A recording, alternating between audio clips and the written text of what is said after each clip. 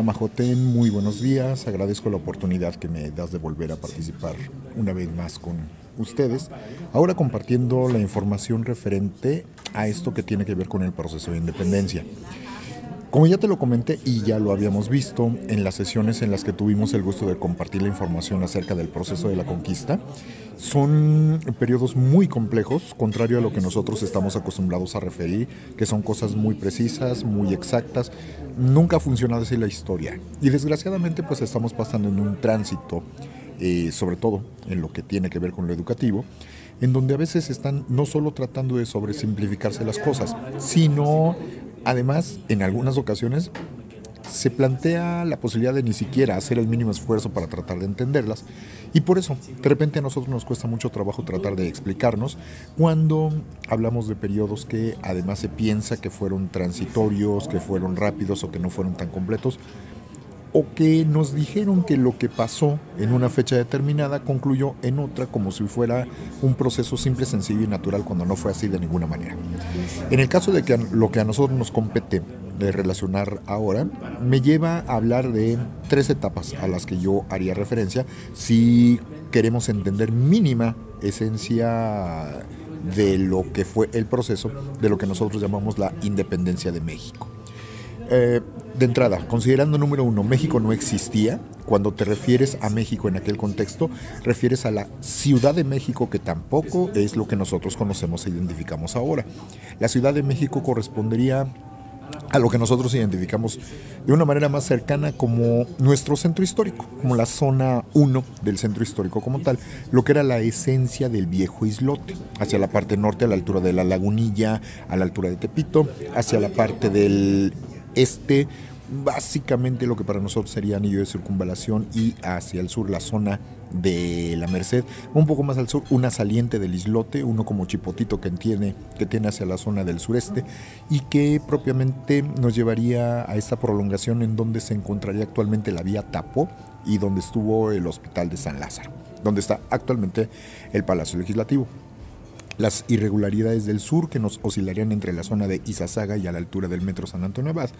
y hacia la parte del oeste que nos delimitaría básicamente en esencia, aunque obvio no era recto, lo que para nosotros ahorita es el eje central Lázaro Cárdenas, con una parte muy importante a la altura de lo que para nosotros ahorita sería la Alameda Central hasta salir a la zona de Bucareli. Eso es lo que sería la Ciudad de México esencialmente en el contexto al que hacemos referencia. Y dentro de los videos que yo te voy a hacer llegar junto con el, conjunto de mis apuntes para que podamos entendernos de una manera más extensa. Hay una serie de videitos que son los que ahora les voy señalando. No se los pongo porque obviamente se nos extiende muchísimo más el tiempo, pero que sí sería importante que ustedes se ubicaran en su proceso de visualización. Y este primer video al que hacemos referencia es una reflexión que se hizo en un programa que se llama Entre Tres, donde tenemos a personajes como Javier García Diego, eh, que llegó a ser director del Colegio de, México. tenemos a gente como Jesús Silva Jerezov Márquez, tenemos a gente como Federico Reyes Heroles, tenemos a, gente como el mismísimo Rafael Tovari de Teresa, que hacen la reflexión de lo que representó en su momento eh, la conmemoración, para algunos el festejo, del dichoso bicentenario de la independencia y entendiendo cómo con el paso del tiempo también este proceso se va modificando y entendiendo de formas diversas. El segundo video al que les hago referencia en este caso fue una serie de conferencias que nos llevaban a tratar de reflexionar sobre una serie de procesos dentro de la muy extensa historia de México y en este caso sería un segmento del capítulo 1 en donde se hace una reflexión justamente de lo que representó el festejo del centenario hace poco más de 100 años, en donde la figura central era Porfirio Díaz. En este caso es el programa Discutamos México, que tiene mucho para la reflexión a nivel teórico. Esa es la parte que más me interesa que ustedes puedan entender para ver de qué manera tratamos de abordarlo ahora en época contemporánea. Algunos elementos a los que solo quiero hacer rápida alusión, porque estos reitero son los prolegómenos, no es el tema como tal, pero sin los cuales el tema no puede ser entendido, nos lleva, por ejemplo, a acontecimientos que van desde el año de 1622, en donde nosotros nos encontramos que el Papa, su Santidad Gregorio XV, fundó eh, una institución dentro de la iglesia que identificamos como la dichosa propaganda fide que va a ser la primera piedra de las futuras, diríamos en nuestros términos y bajo nuestros conceptos, agencias de propaganda. Propaganda fide es eh, hablar a favor de aquel que nos paga para difundir la fe. Eso es lo que significaría como tal propaganda fide, entendiendo que propaganda, como nosotros lo entendemos ahora, ya va mucho más relacionado al entorno de lo político y de lo social. Y esto nos permite hablar en la esencia de lo que serían algunas de las características de la médula de lo que después se va a convertir en la mexicanidad y que sería la cultura barroca. La cultura barroca la tendríamos definida en cinco aspectos fundamentales que siempre debemos de tener en, eh, en consideración. Y una de ellas es que hablaríamos de ella como una cultura de contradicciones, es eminentemente una cultura básicamente conservadora, es una cultura absolutamente masiva, una cultura totalmente dirigida y centralizada en las partes correspondientes a las urbes, es una cultura urbana. La mm, cultura barroca, en el primer punto al que hago referencia en esta base de la cultura de contradicciones, nos habla de una doble moral, hay un doble discurso que queda muy bien reflejado en esto que hacían los presidentes del ayuntamiento, en ocasiones por supuesto entiéndase que son los virreyes, que cuando llega alguna disposición de ultramar se tiene que obedecer la orden, claro, pero digamos que allá no entienden cómo funciona aquí y por lo tanto si recibimos, damos el acuse de recibo, pero hacemos referencia a que no lo vamos a cumplir porque tenemos que ejercer nuestro criterio. Es la famosa idea de acátase, pero no se cumpla y archívese.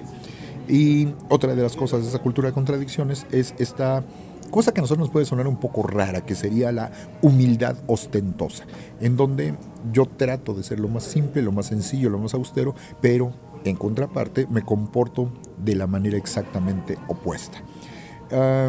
Esto obviamente tiene mucho que ver con el entorno del dominio político relacionado con lo religioso que nosotros vemos en esta maravillosa pintura aquí representada, que es una alegoría del triunfo del Santísimo Sacramento, en donde vemos trepado en un carro una imagen de una mujer que está siendo coronada por un, representante eh, de las fuerzas celestes. Ella viene sosteniendo entre sus manos el Santísimo Sacramento, a ella le están colocando la tiara papal, la triple tiara papal que representa que es la Santa Madre Iglesia, y vemos que viene pues en triunfo, ¿no? Total y absolutamente triunfo. Hacia la parte del frente vemos que hay una especie de angelito que viene montado en un caballo blanco y los viene acompañando una diosa griega, la diosa Nike, esta que evidentemente se ve que es mujer, que viene con una palmera en la mano izquierda, con una, una corona de olivo en la mano derecha y que los viene viendo como sonriendo, ¿no? ahora sí que la victoria les ha sonreído, es la diosa Nike, la diosa de la victoria. Y si nos fijamos en las ruedas del carruaje en el que viene montada la Santa Madre Iglesia, notaremos que viene aplastando gente, ¿no? Viene aplastando lo que son los enemigos de la, de la iglesia, algunos de los cuales vienen caminando de costado, siendo eh, eh, golpeados, siendo maltratados, uno de ellos enseguecido, trae los ojos vendados y el otro con orejas de burro, que representa propiamente el santo triunfo de la Santa Madre Iglesia como tal. Eso es lo que trata de representar esta sociedad y este mundo barroco. El punto número dos de la cultura barroca, como nosotros hacemos referencia, es que es no rural, reiteradamente, en donde nos encontramos que los centros políticos y religiosos se concentran de manera fundamental dentro de las grandes urbes. Por eso nosotros cuando visitamos, sobre todo lo que son eh, pueblos y ciudades que fueron eh, muy importantes para el intercambio comercial, los centros de evangelización en épocas anteriores, encontramos como en el mero centro lo que más se destaca es justamente la construcción de la casa de Dios, que en este caso nosotros denominamos iglesia como tal. Este es el ejemplo claro que tenemos con la ciudad de Taxco de Alarcón. Otra de las características que tiene esa cultura barroca es que es una cultura conservadora eh, que busca retransmitir los valores medievales, hay que considerar que esto es una consecuencia del proceso de la lucha en contra de la reforma protestante y la Santa Madre Iglesia lo que va a hacer es responder con una reforma interna, pero que esta reforma lo que busca es reafirmar los valores ya existentes y aquí los valores medievales van a ser fundamentales. ¿no? Se plantea como una estructura que tiene apertura al cambio, pero solo en ciertos rubros, Puedes cambiar lo que quieras mientras no sea en política, teología, economía, sociedad y cultura. Esto que nos muestra, no hay cambio realmente. Hay un rechazo absoluto en la realidad al cambio busca predicar las virtudes cristianas como la caridad y las obras pías. Obviamente está eh, abonada hacia los ricos y la humildad y la obediencia, esto sobre todo para los pobres. ¿no? La imagen que nosotros vemos aquí, que es la de Nuestra Señora del Carmen, nos muestra justamente lo que representa este acto de caridad, de rezar por las ánimas del purgatorio, en donde a través... Eh, de estos, esta simbología religiosa, pues a final de cuentas la institución se tiene que mantener siempre igual.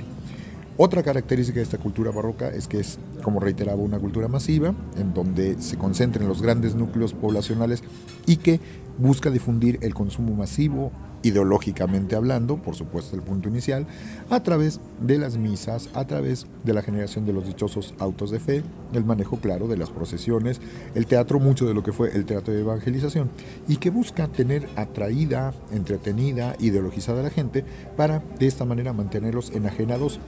dentro de lo que es el parámetro de lo que tiene que ser el buen cristiano en aquellas estructuras. Esta es la visión de la enajenación, es vivir en lo ajeno, no preocuparme por lo que me está pasando a mí, sino estar metido en cosas que eh, me permiten como comunidad mantener la fe, pero a final de cuentas nos saca de la preocupación de lo que serían los problemas reales más importantes y verdaderos. Y obviamente todo este centro de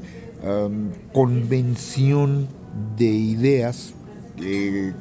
se encuentran totalmente imbuidas de lo que es la visión eh, católico-cristiana apostólico-romana, como lo podemos ver en el interior de la Basílica nuevamente de Santa Prisca de Tasco de Alarcón. No es que sea la más importante, pero sí es de las pocas que nos quedan con esta esencia de lo que representó la arquitectura barroca a la que tendremos que agregar las lecturas, los autos de fe, el teatro de evangelización y por supuesto lo que toda la semana representaba la elaboración de las misas. Otro de los puntos es la cultura dirigida, es una cultura eminentemente autoritaria, en donde encontramos que los planos de comunicación están totalmente controlados por la propaganda, con una frase que representa mucho esto, el veritas liberavit vos, la verdad os hará libres, que es una frase que viene en la Biblia, que los jesuitas van a utilizar grandemente una vez que lleguen a estas tierras de la Nueva España, nada más que habría que considerar un pequeño detalle, cuál es el concepto de verdad que ellos entienden, y la verdad es la de que ellos son el pueblo elegido, es el nuevo Israel y que ellos son los que van a conducir hacia la parucía, es decir, hacia la segunda venida de Jesucristo para establecer el reino de los mil años que nos conducirá al triunfo finalmente de la Santa Madre Iglesia. Eso no se pone en tela de juicio. Y por supuesto se utilizan una serie de incipientes mecanismos religiosos para hacer eh, que la gente se convenza de manera personal y de moto propio de lo que es la fuerza y el poder de los milagros. Estas representaciones religiosas como la que tenemos aquí en este momento, la Virgen Dolorosa, en donde vemos esta representación alegórica de los dolores de la Virgen a lo largo de la vida como madre que ella tuvo y que sí, sí fue la madre de Dios, pero a final de cuentas para ella también implicó una serie de dolores y sacrificios y que ahora que acaba de pasar la Semana Santa, lo tenemos todavía refigurado una vez al año dentro del mundo católico cristiano, en donde tenemos esta costumbre de la visita de las siete casas, de irle a dar el pésame a la Virgen, de ir a ver la pasión de Jesucristo, y todavía con este fervor y esta fe eh, que lleva que mucha gente prácticamente es como si estuviera viviendo la realidad de la crucifixión de Jesús como tal. Eh, hay que entender lo que representa las representaciones gráficas como las penas del infierno que acabamos de ver en este momento y lo que te espera si tú no te arrepientes y crees en el Evangelio como Dios manda, como nos enseñaron que tiene que ser, o lo que representan algunas de las otras representaciones, como este caso en Tlacolula, en Oaxaca, la representación de San Dionisio San Denis, en donde retomamos la historia de su martirio, en donde después de ser decapitado, la historia nos dice que él, su cuerpo se levanta, toma su cabeza y se va caminando rumbo a su casa y el lugar en donde cae de manera definitiva, es donde se estableció finalmente el templo de San Denis que se encuentra a las afueras de la ciudad de París. Es siempre reforzar lo que los santos mártires han hecho para conseguir nuestra propia salvación. Y aquí quiero retomar las palabras de uno de mis mejores profesores, el doctor Antonio Rubial García, que nos dice acerca de lo que representó el mundo y la cultura barroca. La gente sin identidad adoptó al barroco como una cultura propia. El ser de México se gestó en este periodo.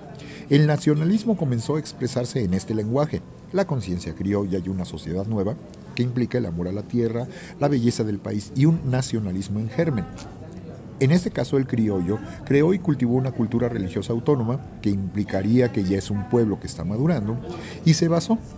en el rescate de la antigüedad prehispánica. Si en Europa tienen su cultura grecolatina, pues aquí nosotros tenemos a, nuestros, como le decía en aquel entonces, a nuestros aztecas y a nuestros mayas. ¿no? El problema eh, de la reafirmación de los valores medievales es que en el mundo occidental ya estaba empezando el proceso de quiebre. Y esto, cuando llegamos al siglo XVIII, pues con la llegada de la ilustración, pues nos lleva a toda una serie de contradicciones. ¿no? Y aquí quiero tomar la opinión de otra de mis mejores maestras, la doctora Guadalupe Jiménez Codinach, que nos dice lo siguiente. La ilustración en la Nueva España presentó no solamente luces, como su nombre pudiera indicar, sino también ensombreció la vida de los novohispanos, sobre todo la del hombre común y de algunos artistas, arquitectos y artesanos cuyo trabajo barroco fue menospreciado y en ocasiones destruido por los celosos promotores de un arte más racional y moderno. Ya encontramos este choque que ahora nos suena tan, tan, tan, tan contemporáneo, pero pues esa contemporaneidad tiene tres siglos de estarse desarrollando y construyendo. Continúa la doctora Guadalupe diciéndonos, la ilustración fue, eh, fue, crítica de algunas instituciones sociales y de beneficencia y trató de suprimir algunos hospitales como el de San Juan de Dios administrado por juaninos. No deben perder este punto porque van a ser de los que van a provocar el levantamiento a posteriori. Se quejaban de los métodos anticuados sin medir la generosidad y atención de los frailes hacia los enfermos. Entonces a lo mejor pueden ser medidas muy racionales, pero se está perdiendo la sensibilidad de lo que representaban para el pueblo. La ilustración española y novohispana rechazó logros del pasado hispánico en aras de una modernidad ajena a la población. En el arte, por ejemplo, los retablos barrocos y churriguerescos se criticaron y destruyeron por ser considerados arte bárbaro, y en su lugar se erigieron altares neoclásicos y se imitaron modelos renacentistas. Se aclararon los colores adoptando unos más delicados. Nuevamente dentro de estas consideraciones, hablando de la ilustración y particularmente en lo que es la parte correspondiente a la sociedad, debemos de considerar una institución medieval que seguía funcionando de una manera muy extendida y bien arraigada en aquel contexto que van a ser las cofradías. La doctora Jiménez Codinach nos dice, los gremios tenían un santo patrón y en muchos casos una cofradía que velaba por las necesidades de sus agremiados. Por ejemplo, en la Ciudad de México los plateros se reunían en la cofradía de Nuestra Señora de San Bartolomé en la misma catedral metropolitana. Los cocheros pertenecían a la cofradía de cocheros del Santísimo Sacramento. Los albañiles y alarifes honraban el 3 de mayo a la Santa Cruz con el adorno de vistosas cruces. Los carpinteros se agrupaban en la cofradía de San José, cuya sede era la parroquia del mismo nombre. La cofradía de San Omobono reunía a los sastres, cuyas sesiones tenían lugar en la parroquia de la Santísima Trinidad. Los escribanos contaban con la cofradía de San Juan Evangelista en el convento de San Agustín. Los pintores pertenecían a Nuestra Señora del Perpetuo Socorro, cuya sede era el convento de Santa Inés. Según la tradición, también veneraban a San Lucas los médicos y los pintores. Los músicos veneraban a Santa Cecilia. Los cirujanos y farmacéuticos se agrupaban en la cofradía del Santísimo Sacramento que se congregaba en la parroquia de la Santísima Trinidad. Las mujeres incluso también quedaban incorporadas, las mujeres de la vida alegre, además de contar con Santa Magdalena, pertenecían a la cofradía de Santa Bárbara con sede en la parroquia de San Bernardo. Quizá la cofradía más rica de la Nueva España fue la Archicofradía del Santísimo Sacramento y Caridad, cuyos miembros eran los principales comerciantes de la capital. Las cofradías antes mencionadas eran propias de españoles, esto es, españoles y americanos. Hay que entender que se entendían todos como españoles. Los indígenas, los negros y los mulatos también tenían las suyas. Son famosas las cofradías de indígenas, tales como las de Nuestra Señora del Rosario de Oaxaca, las del Santísimo Sacramento y las Ánimas Benditas de Michoacán, la de Santiago, la de Santiago de Tlatelolco, la de la Veracruz en Xochimilco, la del Santo Cristo de Burgos en Hulhuacán y la más conocida, claro, la de Nuestra Señora de Guadalupe en el Tepeyac. Entre las cofradías de negros y mulatos destacan la de San Nicolás de Tolentino, fundada en 1560 y la más antigua en su tipo, que se reunía en la iglesia de la Veracruz en la Ciudad de México. la de la coronación de Nuestro Señor y San Benito con sede en el convento de San Francisco de México, la de mulatos en Valladolid de Michoacán y la cofradía mulata de Nuestra Señora de la Soledad en San Miguel el Grande. Las cofradías se multiplicaron y por todas villas y ciudades novohispanas estas se fueron expandiendo. En la diócesis de Michoacán, las principales ciudades tenían un promedio de 17 cofradías cada una y a través de estas instituciones los laicos participaron activamente en la vida de la iglesia. Nada más que el control y la coordinación iba sobre la estructura eclesiástica y el Estado no tenía control sobre ello. Por eso, cuando se busque tener el control estatal, estas son las instituciones sobre las que se van a tener que enfocar y van a tener que cambiar y modificar usos y costumbres. Por eso es tan importante lo que se va a dejar venir dentro de ese proceso de ilustración. Y hablando del mismo, en el caso de la sociedad y la religión, pues están más que arraigadas ciertas creencias populares. La doctora Jiménez Codinach nos dice, los rayos, el granizo, las heladas y las sequías movían a una población mayoritariamente rural a solicitar la intervención divina para controlar el mal tiempo y lograr una buena cosecha. En San Miguel el Grande, la escena de los desposorios de la Virgen con San José era invocada como patrona en contra del mal tiempo. Los terremotos, las pestes, el surgimiento de un nuevo volcán, la aparición de una estrella fugaz, de un cometa o de la aurora boreal eran fenómenos naturales que espantaban a nuestros antepasados, quienes frente a ellos multiplicaban sus rotativas, novenas, tripudos, acciones de gracias, misas y procesiones. Las imágenes religiosas eran legión. Las novenas reflejaban las calamidades más frecuentes de Nueva España. San Caralampio, Santa Rosalía, San Sebastián, San Hipólito, San Carlos Borromeo y San Roque eran invocados por los afligidos fieles en tiempos de la temida peste. San Nicolás Tolentino era especialmente requerido durante los frecuentes temblores de la Ciudad de México y Santa Pulqueria Flavia era invocada para los terremotos en general. San Cristóbal era también protector en contra de los temblores y muertes repentinas. Santa Quiteria intercedía en el mal de rabia. Santa Polonia remediaba los males de muelas. San Jorge protegía de las picaduras de animales ponzoñosos. San Ramón Nonato era el abogado de las mujeres preñadas y San Joaquín protegía de sucesos fatales en el campo. Con estas consideraciones que créanme que son muy someras, llegamos a otro año medular e importante que va a ser el de 1700. ¿Y por qué quiero tomar en consideración esto? Porque viene un cambio político importante que va a tener un gran peso y una gran influencia para los años subsecuentes. El año de 1700 es fundamental por el hecho de que viene el cambio dinástico que va a ser medular para el proceso de esta sociedad y de esta cultura. Es importante que ubiquen a este personaje, que va a ser don Carlos II de España, quien va a fallecer este año de 1700 a los 39 años de edad es el culmen de este proceso de dominio de la dinastía de los Habsburgo, que al final de cuentas, pues al estarse casando entre primos, entre sobrinos, entre tíos, pues tuvo su influencia sobre la genética directamente de las personas que quedaban en el trono, que era muy remarcado sobre todo por el caso de los Habsburgo, que solían tener el prognatismo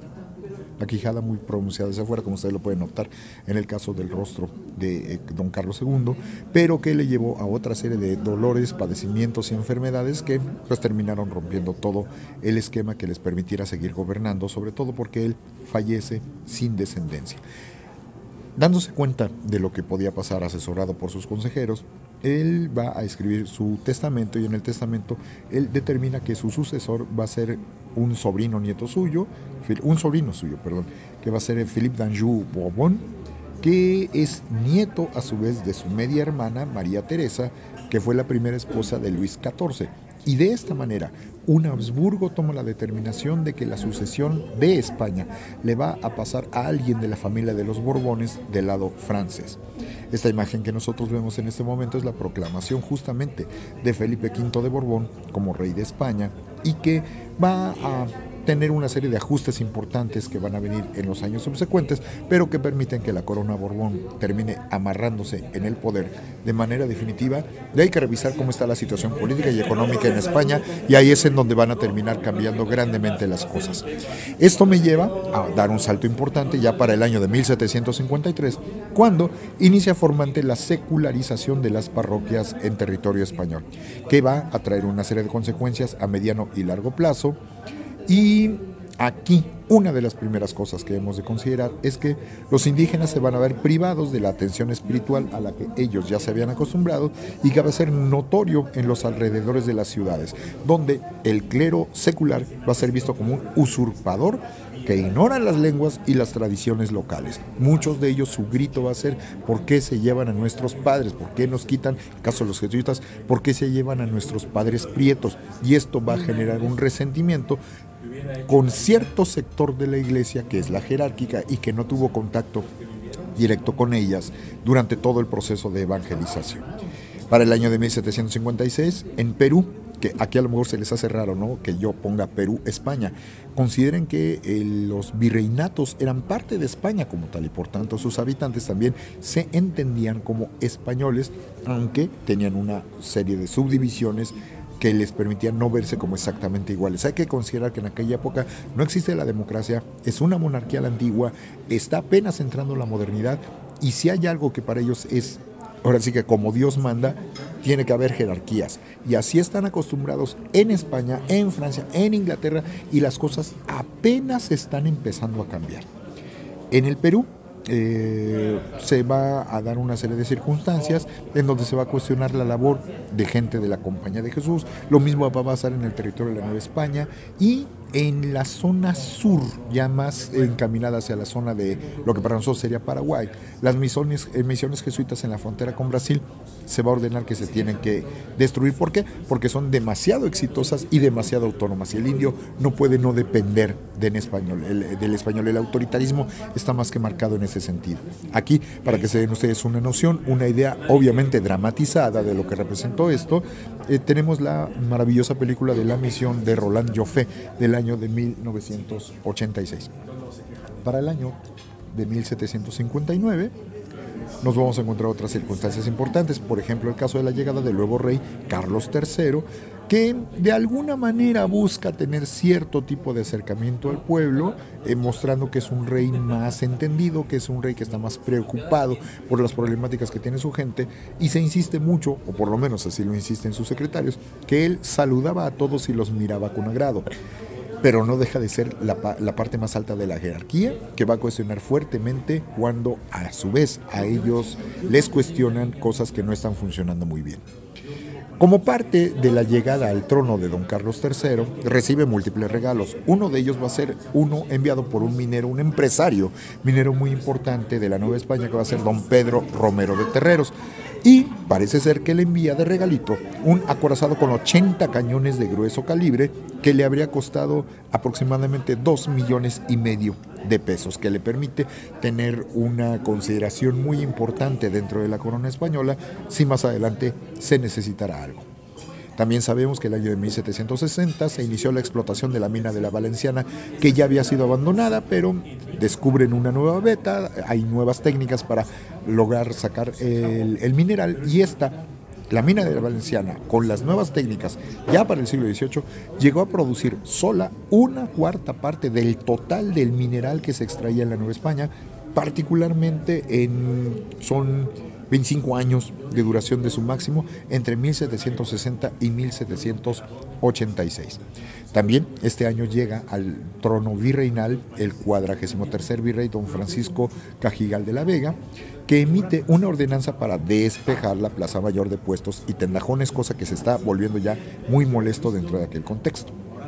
El año de 1761 se ejecutó a Jacinto Canec en Yucatán. De estos antecedentes que tenemos de la guerra de castas en aquella en aquel territorio y para marcar que no se puede ni se debe cuestionar a la autoridad, lo que van a hacer es que lo ejecutan, fracturan su cuerpo, va a ser eh, el cuerpo roto, quemado y después arrojadas las cenizas en el aire para que no se tenga absolutamente ningún recuerdo de lo que él fue ni de lo que él representó hacia el futuro. Para el año de 1761, España entra en guerra con Inglaterra por las muy marcadas tendencias expansionistas de los ingleses que ya habían incluso tomado la zona de Jamaica y que se sabía ahora buscaban Cuba, Florida y las Filipinas. Para el año de 1762 es notorio que para poder fortalecer Cuba se requiere del apoyo exterior y esta va a ser apoyada desde Honduras y Argentina ante los ataques ingleses que está recibiendo de manera ya muy constante. Y es importante ubicar que cuando empiezan a tomar conciencia estos habitantes de estos otros territorios de lo que está representando la invasión extranjera, comienza a desarrollarse lo que nosotros identificaríamos propiamente como una incipiente base de pensamiento americano. También el 62, don Joaquín de Montserrat Ciurana, el marqués de Cruillas, en este caso dándose cuenta de que a lo mejor también al territorio novohispano pudiera afectarles, da la orden de fortificar Veracruz ante lo que piensan puede ser la inminencia de un ataque por parte de los ingleses. También este mismo año se firma el Tratado de París, cuando finalmente logran llegar a un acuerdo entre los españoles y los ingleses, siendo en este caso Inglaterra la que cede los territorios que ya había ocupado previamente en Cuba, y España, a cambio de la negociación, termina cediéndole la península de la Florida y, por interceder, la Francia, eh, el territorio, perdón, francés termina cediéndoles a los españoles dentro de esta triangulación. Recuerden que son tres potencias que siempre tienen que estar manteniéndose al parejo. Los franceses deciden ceder el territorio de la Luisiana. Para el año de 1764, ahora nos encontramos con que hay un conflicto en la zona de las 13 colonias en el territorio de Inglaterra, en donde ya el conflicto ha llevado a un enfrentamiento y prácticamente al rompimiento con la metrópoli europea. Y aquí hay que considerar algo muy importante. Los españoles se sintieron agraviados por lo que representó la pérdida de territorios y la cesión de acuerdos que ellos no querían originalmente con los ingleses y una manera de desquitarse de lo que les hicieron los ingleses a los españoles va a ser que ahora los españoles van a apoyar el movimiento de los rebeldes americanos. No debemos de, dejar de tomar en consideración esto. Llegan el año de 1764 las primeras tropas permanentes al territorio de la Nueva España para constituir el primer ejército virreinal, coordinado por el inspector general Juan de Villalba, formando el Regimiento de América conocido también como los gringos. Gringo es toda aquella persona que habla en un idioma extranjero y es una palabra que ya tenemos registrada por lo menos, por lo menos desde el siglo XVIII, para que lo tengamos muy presente. Cantar en gringo implicaba hablar en un idioma extranjero. El año de 1765 se creó la Real Sociedad Vascongada de Amigos del País por parte del conde de la Peña, Florida, aquí en territorio nuevo hispano, que buscaba socios para transformar su país y alcanzar de esta manera la felicidad.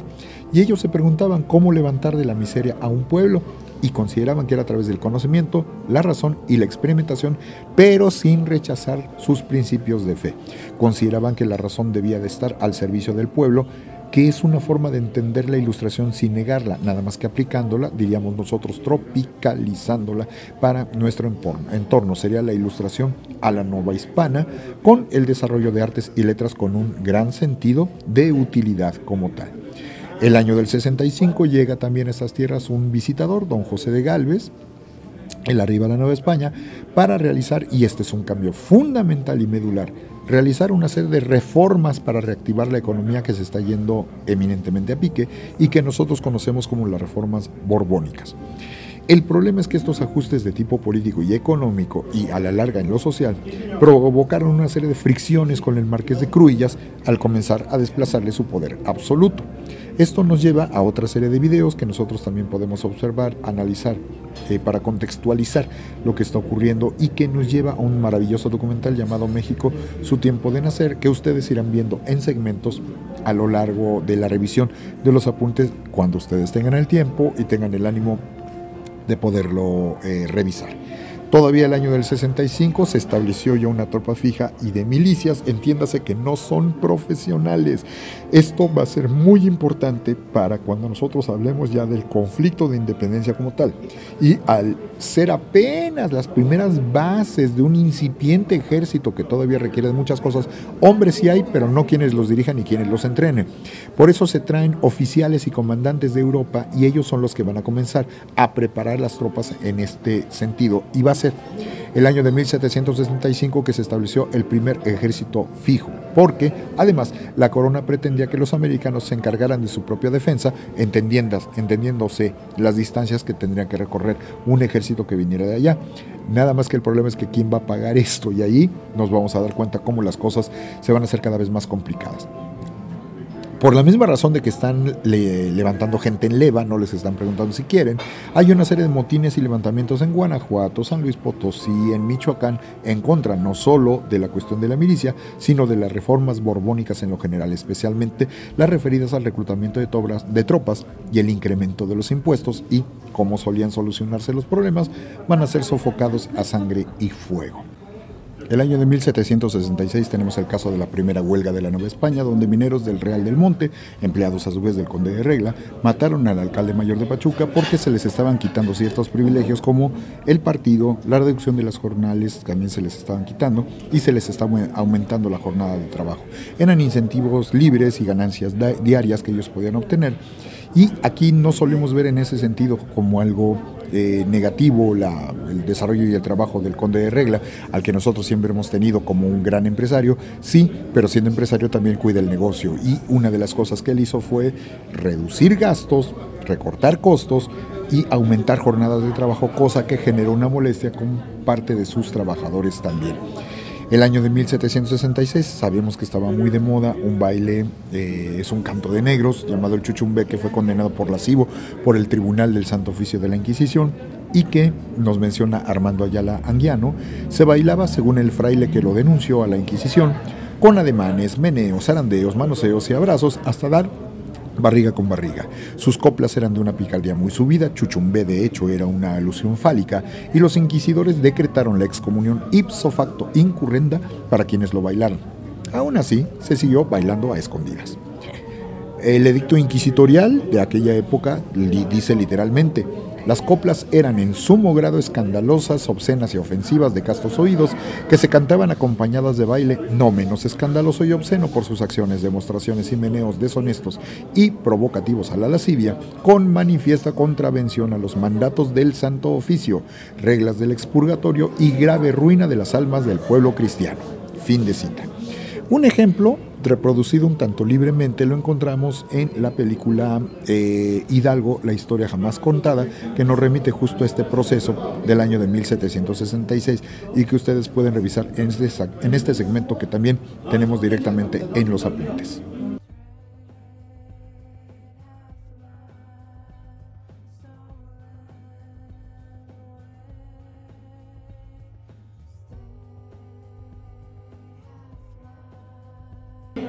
También dentro de este año de 1766 sabemos que la Real Audiencia prohibió una serie de comportamientos considerados paganos durante las ceremonias religiosas y entenderemos que esto va contra el uso y la costumbre popular y va generando descontento y va generando molestia conforme los años van avanzando.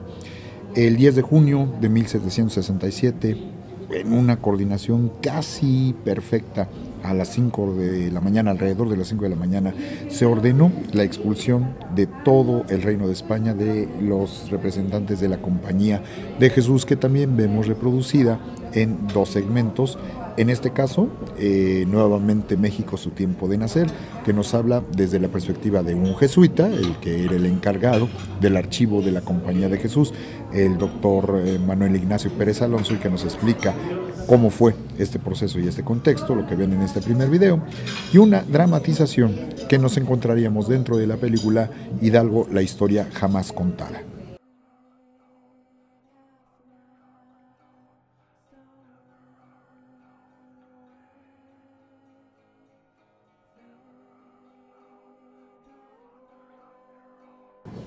Para el año de 1767, el 23 de junio, se generalizan las revueltas en contra de la expulsión de los jesuitas, que lleva a que la autoridad reprima, y esto provoca que haya 85 ajusticiados, 73 azotados y 644 personas condenadas a prisión perpetua por levantarse en contra de la autoridad.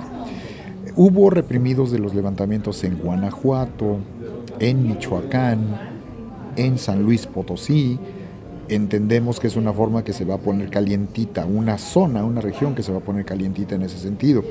Y tenemos un texto que es la relación de tumultos de la Nueva España que nos dice, el rey y el virrey son herejes, queremos rey de nuestra nación, mueran todos los gachupines. Y esto es algo que ya se escuchaba, por eso se registró en la relación de tumultos, es algo que ya se escuchaba que gritaba la población de aquella época, nos, nos podemos dar cuenta que hay cosas que se están agravando ya en ese sentido.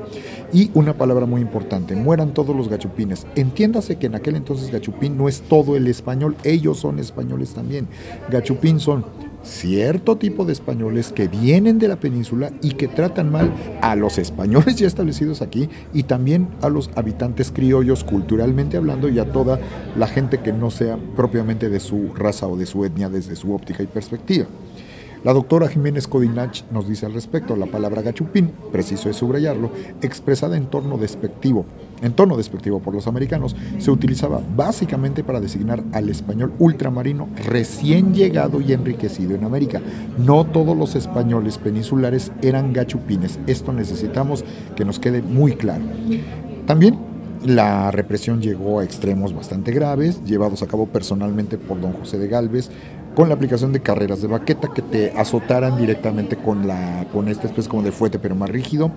Pena capital por decapitación, estrangulación o descuartizamiento, arrasamiento de casas sembrándolas de sal y la deportación en los casos que ya se ve que no van a poder cambiar las cosas, deportación de los alzados a la zona de Yucatán. Y aquí un agravante va a ser lo que va a decir el virrey Carlos Francisco de la Croa al respecto. Mando que quitados de la horca sus cadáveres después de estar cinco horas suspensos en ella, separe el ejecutor de la justicia las cabezas de todos ellos y las ponga en otras tantas picotas bien clavadas en esta forma, y su mano derecha en una escarpia sobre la fachada de la casa donde está el estanco del tabaco y donde destruyó las armas reales, en cuyos parajes picotas y escarpias deberán preservar dichas cabezas y mano hasta que el tiempo enteramente las consuma, sin que ninguno sea osado quitarlas, pena de la vida, y declarando por confiscados cualesquiera bienes que se hallaren ser de estos reos. Mando que derribadas las casas donde habitaron, si fueren propias de ellos, se siembren de sal y se arrojen sus familias de esta ciudad y sus barrios, intimándolas salgan de la provincia sin que puedan sus descendientes volver jamás a ella. De una vez por lo venidero deben saber los súbditos del gran monarca que ocupa el trono de España que nacieron para callar y obedecer, y no para discutir ni opinar en los altos asuntos del gobierno.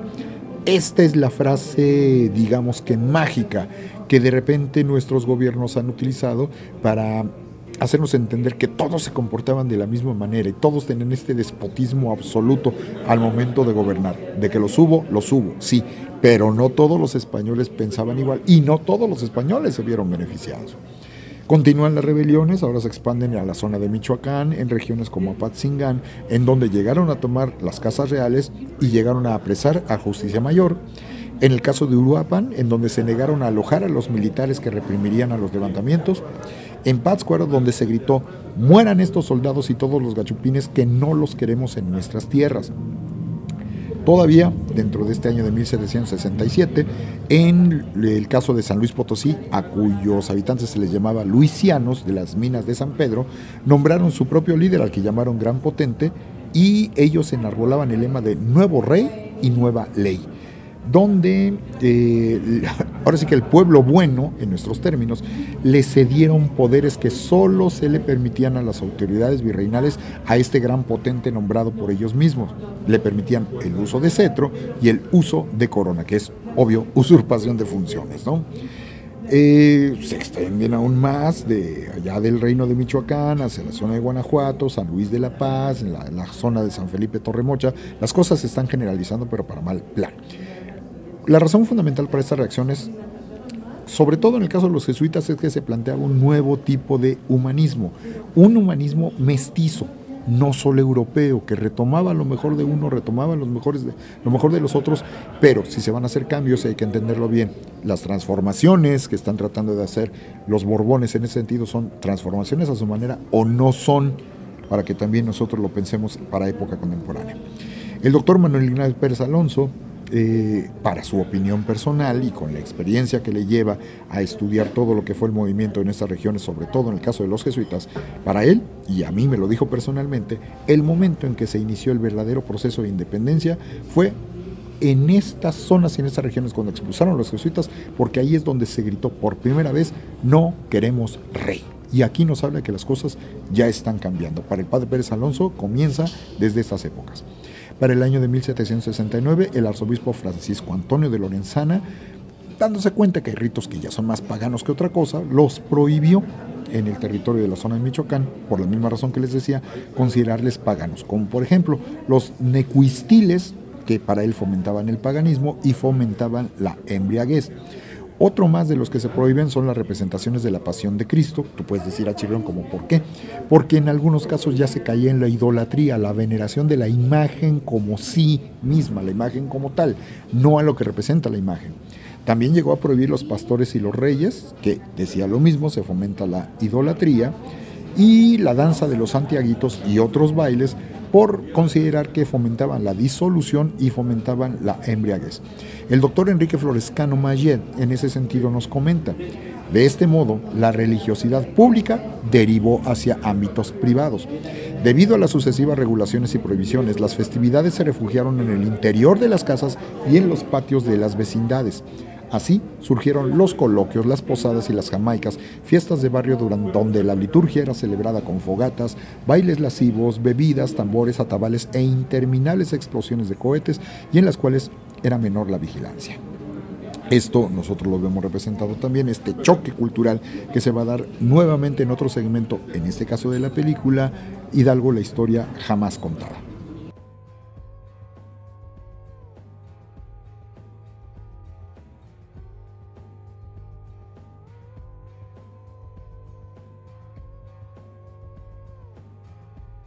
Ahora para el año de 1770 nos encontramos con circunstancias aún más agravantes y apremiantes. Se lleva a cabo el primer intento de creación de las intendencias con intendentes gobernadores que estaban sometidos a virrey e intendentes. El virrey ya no tiene el poder total y absoluto. Va a buscarse sanear la economía, pero también se va a incrementar el descontento de los grupos burocráticos desplazados, primordialmente estos que van a ser los españoles americanos. Para el año de 1770 se establece un manifiesto para reglamentar los juegos de lotería que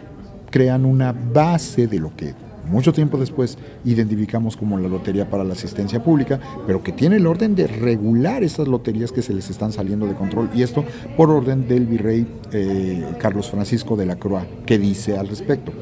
Las inundaciones y los incendios son plagas que devoran de un golpe los bienes de los ciudadanos, pero hay otros males y otros vicios que por ser aún más lentos, más sordos y más imperceptibles, no arruinan menos las fortunas de los particulares y que un sabio gobierno debe por consecuencia prevenirlos. Entre estos cuentan los juegos de suerte.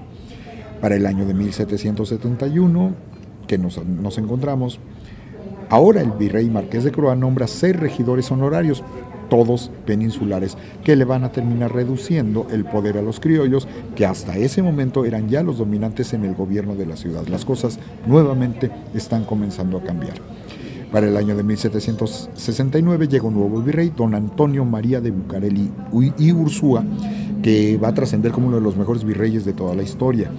En 1771, el ayuntamiento presentó una representación humilde en favor de sus naturales que fue redactada por el oidor Antonio Joaquín de Rivadeneira y Barrientos. En ella solicitan nombramientos de españoles americanos a puestos públicos importantes. No cuestionan a la autoridad, nada más solicitan que no se les deje de tomar en consideración. El año del 71 también eh, se considera a los peninsulares como extraños de paso que volverían a Europa luego de hacer riqueza, por eso hay que volverle a dar preferencia a los nuestros. Pero suma una frase que va a ser fundamental para entender cómo el ánimo se está caldeando. Don Antonio Joaquín de Rivadeneira y Barrientos dice, viene a gobernar a unos que no conoce, a mandar unos derechos que no ha estudiado, a imponerse en unas costumbres que no ha sabido, a tratar con unas gentes que nunca ha visto. También se afirman las virtudes criollas, por supuesto, el problema es que van a desestimar las virtudes de los indígenas. Nuevamente Rivadeneira nos dice, estos, refiriéndose a los indígenas, generalmente hablando, lejos de ser hermosos, son positivamente de un aspecto desagradable, malísimo color, toscas facciones, notable desaliño, cuando no es desnudez, ninguna limpieza, menos cultivo y racionalidad, en su trato gran aversión a los españoles. El español que hubiera de mezclarse con indias vería a sus hijos carecidos de los honores de españoles y aún excluidos del goce de los privilegios concedidos a los indios. Todavía en este mismo año,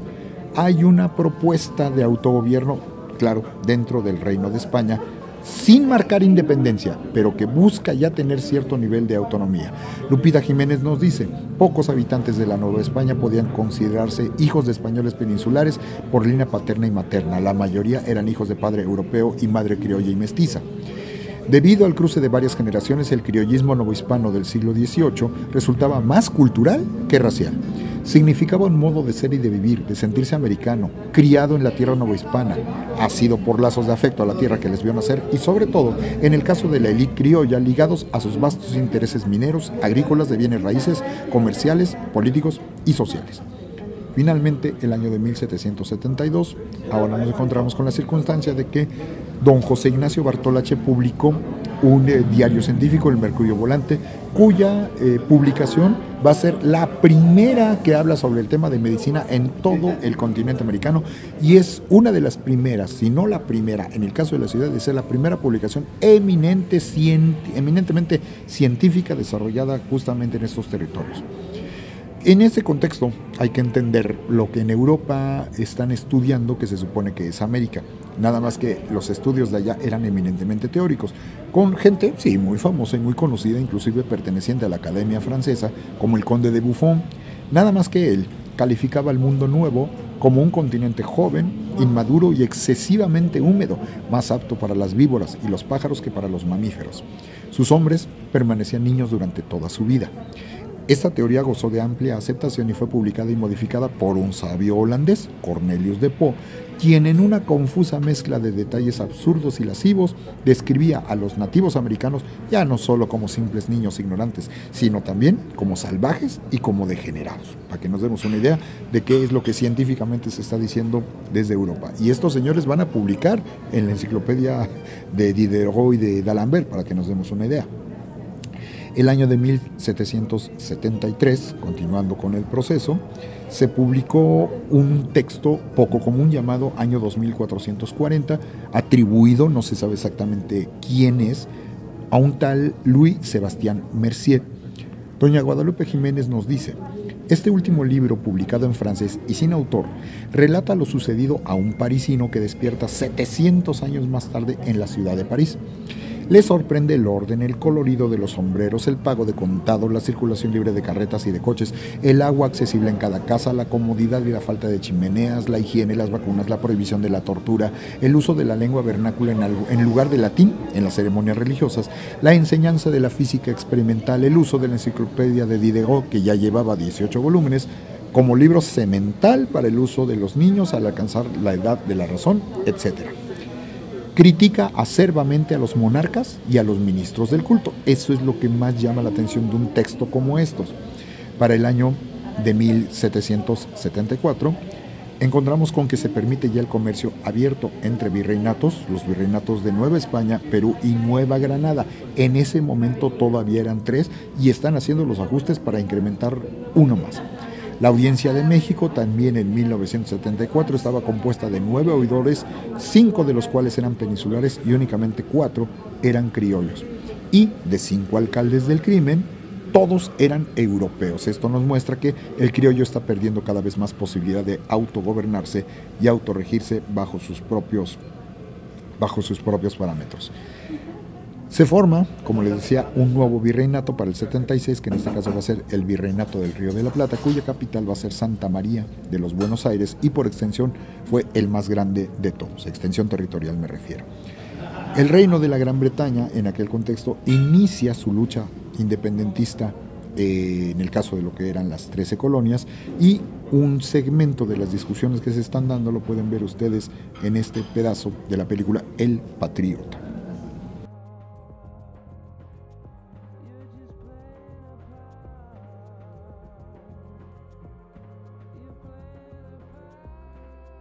Para el año de 1776, el 4 de julio, sabemos que el Reino de Gran Bretaña, en la zona de las Trece Colonias, recibe el gran golpe la metrópoli al proclamarse la independencia de las 13 colonias como tal. Y aquí cito directamente el acta de independencia de los Estados Unidos que dice, sostenemos como evidentes por sí mismas dichas verdades, que todos los hombres son creados iguales, que son dotados por su creador de ciertos derechos inalienables, que entre estos están la vida, la libertad y la búsqueda de la felicidad, que para garantizar estos derechos se instituyen entre los hombres los gobiernos eh, derivan sus poderes legítimos del consentimiento de los gobernados, que cuando quiera que una forma de gobierno se haga destructora de estos principios, el pueblo tiene derecho a reformarla o abolirla e instituir un nuevo gobierno que se funde en dichos principios y a organizar sus poderes en la forma que a su juicio ofrecerá las mayores probabilidades de alcanzar su seguridad y felicidad. La prudencia, claro está, aconsejará que no se cambie por motivos leves y transitorios gobiernos de antiguo establecidos. Y, en efecto, toda experiencia ha demostrado que la humanidad está más dispuesta a padecer mientras los males sean tolerables que a hacerse justicia, aboliendo las formas a que está acostumbrada. Pero cuando una larga serie de abusos y usurpaciones dirigida invariablemente al mismo objetivo evidencia el designio de someter al pueblo a un despotismo absoluto, es su derecho, es su deber derrocar ese gobierno y proveer de nuevas salvaguardias para su futura seguridad y felicidad. Esto ubiquen que todavía no truena el movimiento de revolución en Francia. Esto va a tener un peso muy fuerte, muy grave con el agravante extra que es dicho por gente protestante. Por eso no todos los americanos católicos cristianos van a estar el 100% de acuerdo con lo que se está diciendo, como tampoco van a estar el 100% de acuerdo con lo que se diga cuando se establezcan los derechos del hombre y del ciudadano. En el 77, el virrey Bucareli ordenó a los cirujanos de México atender gente herida cuando así se le requiriera, ya que ellos solo intervenían hasta que un juez se los ordenara. Si les pedían su opinión o su permiso, preferían no hacerlo. También tenemos una descripción de la Plaza Mayor de ese contexto dado por Juan de Viera que nos dice, cuyas calles formaban los puestos de tejamanil y las canastas de las marchantas distribuidas según el producto que vendían. En el portal de mercaderes se vendían todo tipo de dulces cubiertos, pasteles, conservas, bizcochos o frutas seleccionadas por su buena calidad. Viera describe unas calles de cocineras que preparaban comida para las multitudes que llegaban a traficar en la plaza o para los forasteros que desayunaban, comían y cenaban en ella a falta de mesones suficientes en la ciudad. Los puestos de fritangas o jacalones de comideras abundaron en la Plaza Mayor hasta fines del siglo XVIII, cuando fueron desplazados a otros sitios como la Plaza del Volador por órdenes del virrey Villajijero. Antes de la renovación de la plaza, algunos cuartos del mismo Palacio Real fueron usados como habitaciones por los puesteros de la plaza y como bodegas para almacenar fruta y otros comestibles. Para el año de 1778, nos encontramos ahora que el soberano Carlos III emitió una cédula real donde prohibió este libro que les mencioné previamente, el de año 2440, y dice su cédula, no solo se combate en él a la religión católica y lo más sagrado de ella, sino que también se tira a destruir el orden del buen gobierno, la autoridad de los magistrados y los derechos de la soberanía, promoviendo la libertad e independencia de los súbditos a sus monarcas y señores legítimos. He resuelto que, además de prohibirse por el santo oficio este perverso libro, se quemen públicamente por mano de verdugo todos los ejemplares que se encuentren, que se tenga en todos los puertos y confines de mis dominios el mayor cuidado de que no entre ejemplar alguno de una obra tan perniciosa, imponiendo las mayores penas a los contraventores y que se tomen todas cuantas providencias dicten la prudencia y las reglas del buen gobierno para preservar mis católicos estados de una peste que si no se ataja con tiempo puede acarrear los más lamentables prejuicios, a cuyo fin, he mandado igualmente por cédula por real orden de 12 de marzo de este año a mi Consejo de las Indias, expida cédula circular a aquellos reinos para el cumplimiento de esta expresada mi real resolución. Prohibimos dicho libro, en este caso dicho por el Tribunal del Santo Oficio de la Inquisición. Prohibimos dicho libro, impreso o manuscrito en cualquier idioma que lo esté, y mandamos que ninguna persona en todos los dominios de su majestad le pueda leer, usar, vender ni retener, aun los que tengan licencia de leer libros prohibidos ni tampoco pueda retenerse en las librerías públicas ni en las academias que tengan semejante facultad del Santo Oficio, excepto la Biblioteca Real de esta Corte, pena de excomunión mayor lata sentencia ipso facto incurrenda y de 200 ducados para gastos del Santo Oficio. Llegamos entonces al año de 1779, donde por si algo faltara. Hay una serie de severas sequías y escasez de granos, sobre todo en la región del Bajío, Carlos III limita también en esta época la entrada de criollos a instituciones importantes. Ya solo va a haber cuatro oidores criollos y doce van a ser peninsulares. Para el año de 1780 se, revela que hubo un desfalco en la Real Lotería General de la Nueva España, un desfalco de más de 25 mil pesos, que es una cifra muy grave en aquel contexto, pero que nunca fueron comprobados los cargos a quienes llegaron a resultar acusados, que fueron un director, un colector y un contador, por si desgraciadamente la situación no suena tan bien conocida. Se prohibieron los festejos del carnaval en la Plaza Mayor y la animadversión social pues entenderán que se agrava. Y sabemos para este año del 80 que un señor llamado Miguel Gregorio Antonio Ignacio Hidalgo y Costilla Gallaga Guandarte y Villaseñor tuvo dos hijos este año con su concubina Manuela Ramos Pichardo. Eh, hijos que sabemos incluso se llamaron Agustina y Lino Mariano. Y sabemos además que llegó a tener otra, otra concubina más, que fue doña Josefa Quintana Castañón, con quien a su vez llegó a tener dos hijas, María Josefa y Micaela. Es importante entender que esto se tiene registro, de esto se sabe, de esto se conoce y también se conoce que él era muy responsable. Nunca negó a sus hijos, nunca negó las concubinas, se hizo responsable de ellos. Es algo muy humano y tampoco nada extraño y común que pase en aquel contexto. Nada más que como nosotros estamos acostumbrados a ver esto, en automático viene la reprobación cuando no nos damos cuenta que ha sido arraigado y extendido desde el principio de los tiempos de esta formación eclesiástica.